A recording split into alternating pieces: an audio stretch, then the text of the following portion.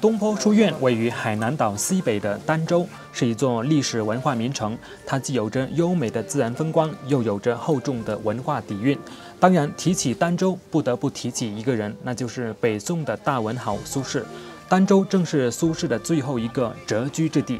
今天的儋州留下了许许多多的东坡印记，东坡书院便是其中之一。走进东坡书院，古朴的建筑，雅致的环境，散发着文化的气息。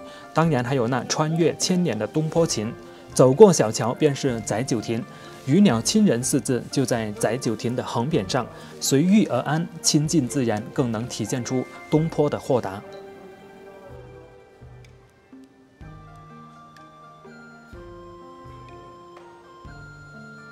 载酒堂一个新的开始。千年以前的海南，并不像今天这般美好，而是一个出了名的贬谪之地。绍圣四年，也就是一零九七年，年已六十二的苏轼被一叶孤舟送到了脚边荒凉之地——海南岛儋州。据说在宋朝，放逐海南是仅比满门抄斩最轻一等的处罚。被贬到海南，意味着背井离乡。远离故土，承受着流放的屈辱与跋涉的艰辛，可这一切被苏轼的淡然一笑化解了。岭南如此，海南亦如此。对于东坡来讲，心安处便是故乡。在那个年代，多少人面对流放痛苦不堪，怨念百生。可是苏东坡却怀着乐观的心态，千里迢迢来到了儋州，并把这里当成了自己的家。出来时，儋州并没有载酒堂，东坡只是住在当地的官舍。可是，即使已经被贬，他的政敌却依旧没有放过他，他们不断施压逼迫。不久之后，苏东坡就被赶了出来。也正是这场逼迫，才有了载酒堂，才有了今天的东坡书院。在被赶出官舍之后，苏东坡曾在光廊林中盖了几间房子居住。后来，在儋州州府和当地人家的共同努力之下，新的房屋建成了。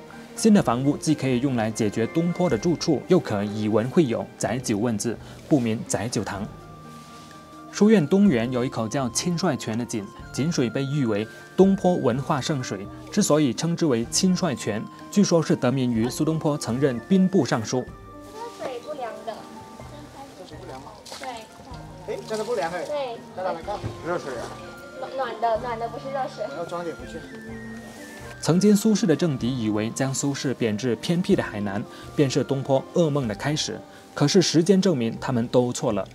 儋州与载酒堂确实是东坡人生新的开始，但却不是噩梦。恰恰相反，载酒堂不仅不是苏轼的沉沦之地，而是他淡然精神和宽广胸怀的见证。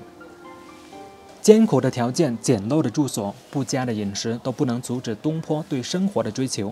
相反，在这里，他依旧完成了许多佳作，而且同时还开始讲学，为许许多多渴望文化的当地人民带来了笔墨书香。东坡书院不仅仅是东坡在儋州的家，更是人们心中的文化殿堂。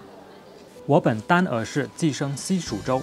元符三年，也就是公元一一零零年的大事，让本以为要在海南终老的苏轼踏上了北归之路。离别时，他写下了“我本丹耳氏，寄生西蜀州”的佳作。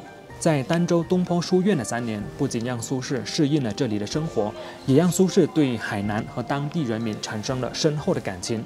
纵然物质条件恶劣，可朴实的民风、热情的人们和对文化的渴求，却深深地打动了苏轼。而苏轼也用自己的行动得到了人们的尊敬与崇拜。三年期间，他为地处边地的海南传播了中原文化，改善了当地的许多状况。人们一直把苏轼看作是儋州文化的开拓者、播种者，对他怀有深深的崇敬。在儋州，不仅有东坡书院，还有东坡村、东坡井、东坡田、东坡路、东坡桥，甚至还有东坡帽，连语言都有一种叫东坡话。表达了人们的缅怀之情。看着东坡书院里东坡讲学的彩雕，我们仿佛看到了千年以前东坡与当地人谈笑风生的身影。三年光阴，东坡书院成全了东坡的文化追求，而东坡却用文化成全了儋州。